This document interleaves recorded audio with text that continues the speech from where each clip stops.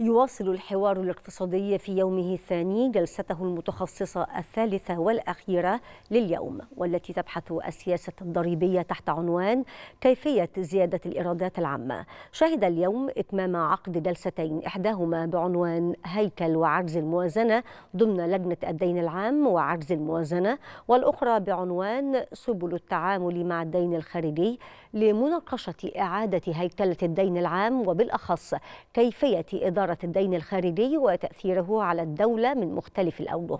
تستعرض الجلسات التي عقدت بمقر الأكاديمية الوطنية للتدريب عدة مقترحات مختلفة ضمن الإطار التنفيذي والتشريعي للخروج بتوصيات للتخفيف عن المواطنين في ظل التحديات الراهنة في إطار الحوار الوطني.